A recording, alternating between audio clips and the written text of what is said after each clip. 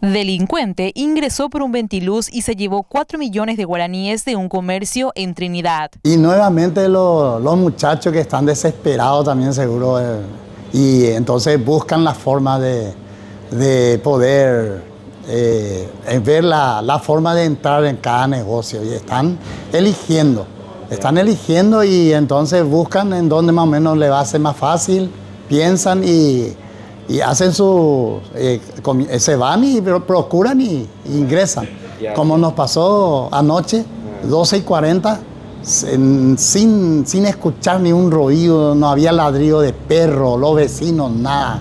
Silencioso, tranquilo por un ventiluz. Y ahí se, por sí, por el ventiluz entraba. Sí, sí, un ventiluz. se está colocando nuevo. Eh. ¿Ellos sacaron esto o rompieron? Rompió y estiró y sacó. Ahí sacó ya, eh, al sacar el pedazo ya le dio forma de, este, sacar. ¿Y por aquí ingresaron entonces? Sí, por aquí ingresó. Ingresó uno lo que vimos nosotros en la cámara. En la cámara. persona, una persona, no, no, no pequeña. Pero fueron más. Y no sé, no puedo porque afuera ya no tenemos la... Eh. Uno lo que vieron Uno adentro, adentro de lo que es eh, la cámara. ¿Y qué llevaron? Y llevaron plata, solo dinero, nada ni... Y llevaron más o menos 4 millones. 4 millones. Por ahí.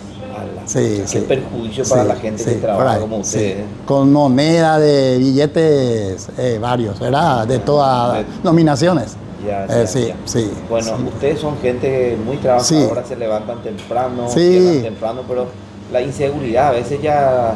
Eh, Viste que somos, vamos a decir que somos los trabajadores porque sábado y domingo uno que quiere vender algo, sabemos que la gente eh, cobra su platita, los obreros, ¿verdad? gente que trabaja también como nosotros todos los días.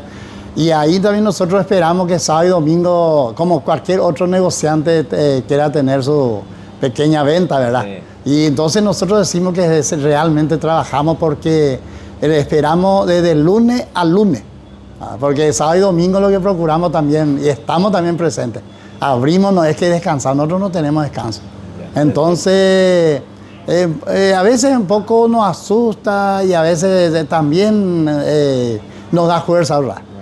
Porque tenemos que procurar y hacer, vamos yo sé que vamos a recuperar otra vez, decimos nosotros, ¿verdad? Trabajando. ¿Dónde hay gusto? No hay gusto, porque pues, esto, y de ahí aprendemos a asegurar un poco más, porque lo único que podemos es hacer nuestro propio seguro ya.